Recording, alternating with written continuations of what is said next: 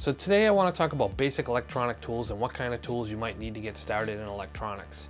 These tools may be expensive, some may be inexpensive. It all depends on the quality you choose to get. Tool number one, screwdrivers.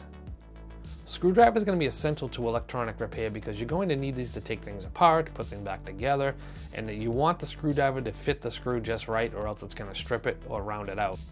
I would recommend a wide variety of sizes, all the way from very small and fine tip, all the way to a very large tip and long screwdriver. These are going to be essential to getting into very deep holes in some enclosures that might require a long screwdriver. Tool number two is going to be wire strippers. You're going to want to get a nice pair of wire strippers or multiple pairs of wire strippers that can cut and strip multiple different size wires. Don't get the cheap wire strippers that you can only cut one size.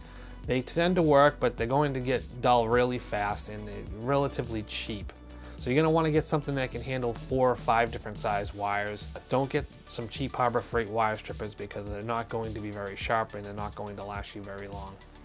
Tool number three is going to be a soldering station. You're going to want to get a soldering station versus a single soldering iron because a single soldering iron will not allow you to change the temperature and will most likely not allow you to change the tips very easily. The soldering iron that comes with the soldering station should be able to accept multiple different tips.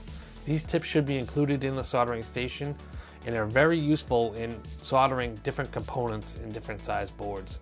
Number four is going to be solder. I won't use a lead-free solder, I'll use a lead blend of lead and tin.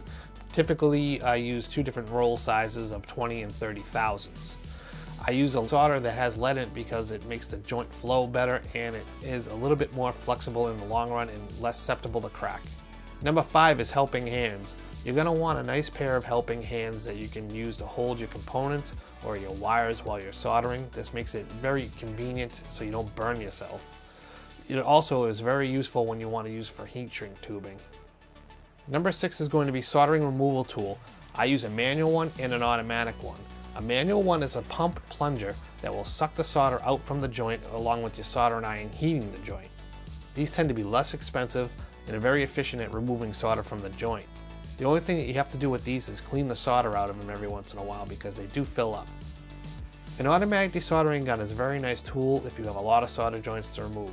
The only downfall to this is they tend to clog up a lot and overheat the joint if you stay on them too long.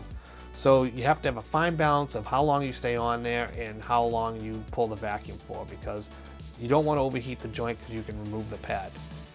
I would suggest this uh, over a manual one if you don't have a manual one, but it would be nice to have a manual one if you're just doing a couple of removals. Number seven is going to be a multimeter. You're going to want to get yourself a multimeter. It doesn't have to be a Fluke or a very expensive multimeter at all. You can go to Harbor Freight or get something on Amazon. For the basic electronic troubleshooter, you can just get something that does continuity, resistance, and voltage, AC and DC. Some actually will come with capacitance, but I tend not to use these for capacitance because you should use another tool for that. Number eight is another piece of equipment, not really a tool, but you should have it in the shop if you're gonna be working with electronics and electronic projects, and that is a DC power supply. You can get a small DC power supply for relatively inexpensive. I would suggest something that does a few amps, but you don't have to get something that it has 20 or 30 amps unless you really need that.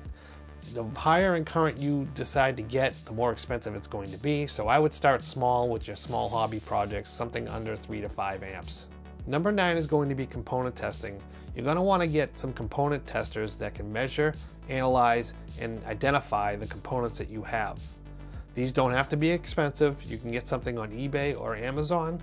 Unless you are looking for high precision, these tools will be very useful. It's better than nothing, trust me. Number 10 is going to be leads and jumpers. You're going to need leads and jumpers to connect your project to your power supply or from your multimeter to your power supply or your multimeter to your power supply and your project.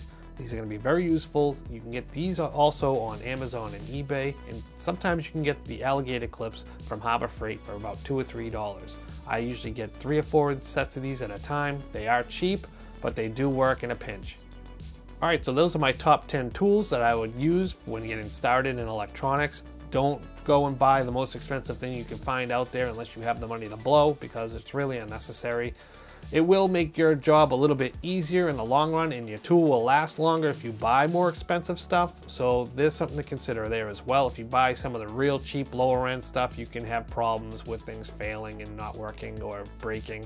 So you might want to find something in the middle ground to get started. I wouldn't go completely absolutely cheap because some of that stuff is really garbage. Some of the stuff you can repair on your own, like leads and stuff. If the ends fall off, you can resolder them. So it's not a big deal. Even some of the higher end stuff does fail too. But that's it. I hope you guys enjoyed this video and we'll see you in the next.